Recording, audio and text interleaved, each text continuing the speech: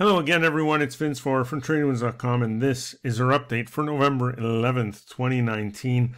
Let's take a quick look at today's markets. It was another fairly quiet day. We did open lower, and uh, thanks to shares of Boeing, uh, the Dow actually managed to rebound and finish in positive territory, but just about everything else finished slightly lower. The Dow was higher by 10 points. We'll get to Boeing in just a moment, by the way. The S&P was down six points. The Nasdaq down 11 points, while the Russell 2000 finished lower by four points. The bond market did manage a slight gain, and the yield on the 10 year note settled at 1.942%.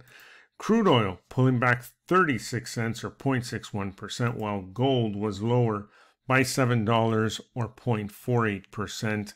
Uh, the US dollar pulling back as well today. Now, as I mentioned, shares of Boeing today spiked on news that the company plans to resume deliveries of the 737 MAX jet next month. So that uh, was unexpected, and uh, we got a real nice spike here, up 1596 or four and a half percent.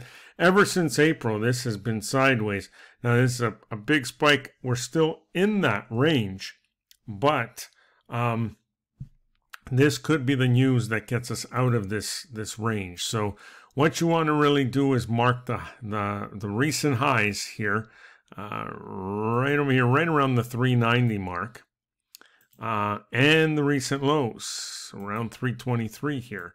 And a break either way will take us out of here. But uh, so far on today's news, looks like a, mo- a much more likely scenario is a break above the recent high at 390.